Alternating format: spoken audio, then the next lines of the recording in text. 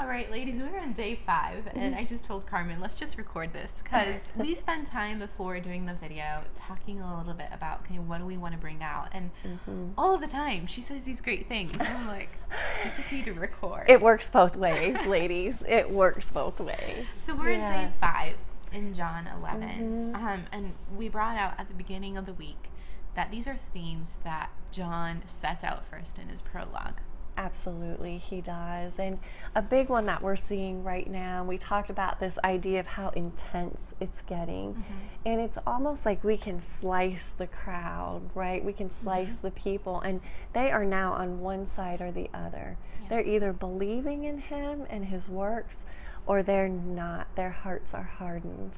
And so we do see we do see that theme in John 1, I think it's 110, where uh, Jesus is in the world, He made the world, um, uh, but yet the people do not know Him. He came to His own and they did not receive Him. But to all who did receive Him, who believed in His name, He gives the right to be. Ch- become children of God.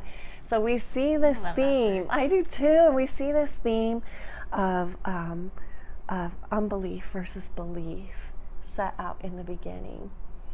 And then John, in the very end, I think we talked about way back in September when we started this, that John in 2031, he tells us why.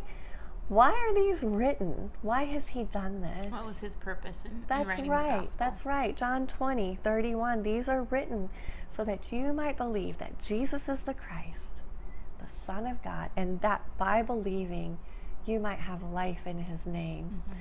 So, yeah, I think that comes out here. We see Martha. She's believing. I mean, she declared that. I think you read that verse to us this week.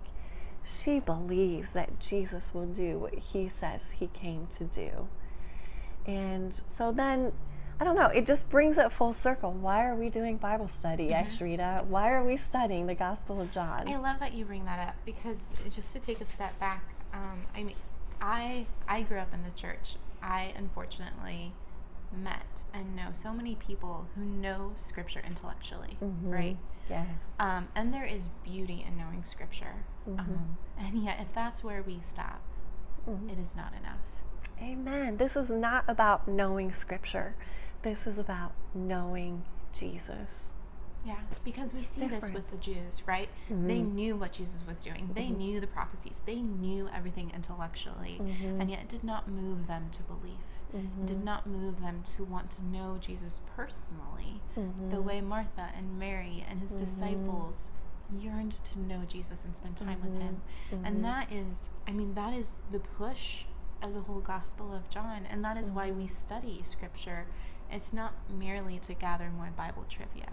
Absolutely. And I, you know, I think I would just like to add to that too. Ladies, if you ever feel discouraged um, by maybe how little you've done for the day, or maybe you just feel discouraged because you're looking at it and you're like, well, I'm not sure what I'm observing today. I'm not sure how to interpret this today. I mean, that's not definitely we want we want to be growing in those ways But that's not the. It's not the point. Yeah, the point is that we are meeting with Jesus. We are coming to his word where he reveals himself to us. And I will say, just with Yeah. that, the the prayer section. I think for me sometimes it's tempting to skip it because I'll be like, oh, I'll just pray in my head, Mhm. like close the Yes. book and move on, make Yes. breakfast or whatever. But that is where we hit that personal encounter with Jesus, right? That- Amen. that's where we stop from simply observing and studying Mm-hmm. to saying, okay, I'm acknowledging that this character is a real person Mm-hmm. and I want to talk to him right now. And so, my encouragement to you, again, I mean, we've said this again and again, even if you only observe one thing, interpret one thing, apply Mm-hmm. one thing, but that prayer section, that is where you grow in your knowledge of Jesus Mm-hmm. personally. Love that. Thank you for that encouragement, Ashrita. Yeah. Good stuff, ladies. We would love to hear more from you.